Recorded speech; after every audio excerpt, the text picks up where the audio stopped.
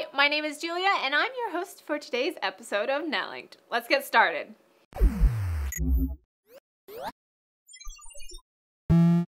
If you enjoy watching videos on your Android through the Chrome browser, things just got better.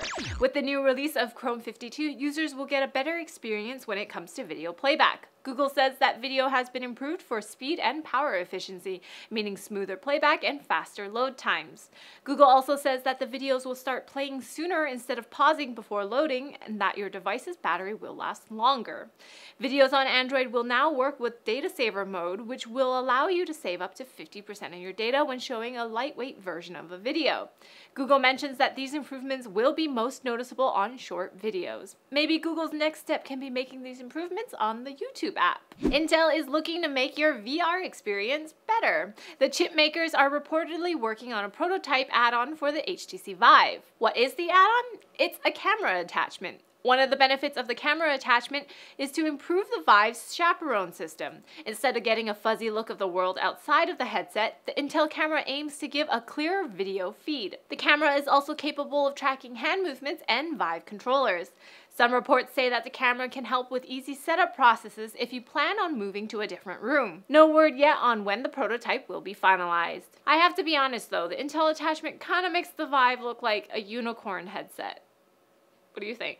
Basis, a subsidiary of Intel, launched a fitness watch called the Peak back in 2014. Early on in the product's lifespan, Basis received reports that 0.2% of all devices sold were causing injuries. The issue is that the wearable could overheat and cause blistering. Unfortunately, despite their best efforts, the company is unable to come up with a solution without compromising the user experience. Now Basis has issued a complete recall on the device. Intel Senior VP Josh Walden says that it's important that you stop using the watch immediately and return it. If you do own this device, you will receive a full refund for the retail value of the watch. It's time for Snippy Snippets.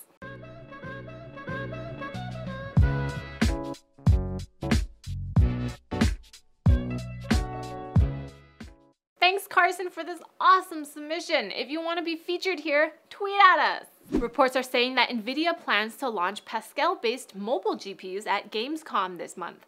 The cards that are expected to launch will be the mobile versions of the GTX 1060, GTX 1070, and GTX 1080. Speaking of Gamescom, the organizers of the video game trade fair are tightening security due to the terrible incidents of recent weeks.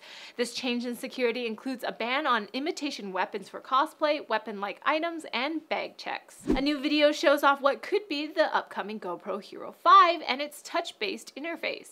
Eh, I'm still waiting to see what GoPro's Karma drone will look like. Xiaomi launched their first VR product today in China called the Mi VR Play. It can fit devices with display sizes ranging from 4.7 to 5.7 inches. Reports are saying that when Nintendo launches their NX console, the system will get Pokemon, Zelda, and Mario games within six months of launch. Sources for all of today's news stories can be found in the NCIX forum post linked in the description. Hoyer terasta van. Apparently it means if you understand this, you will have super strength. So I have super strength, I guess, but I kind of used Google Translate to read this, so. This week is NCIX's DIY summer sale. The Canadian deal is the Asus RT AC 68U dual band router for $190. That's a savings of over 100 bucks. The American deal is an LG 34-inch ultra-wide FreeSync monitor for $700. That's a savings of 200 bucks. Click here for the Canadian deal, click here for the American deal, and click up here or in the link down below for the rest of this week's savings. Alright, that's it for Netlinked Daily. Thank you so much for watching. Click over here for previous videos and check us out on Twitter right over here. But as always, don't forget to like the video, comment for fans with benefits, and subscribe for more videos like this from NCIX. Now if you'll excuse me, it's lunchtime. See you guys next week.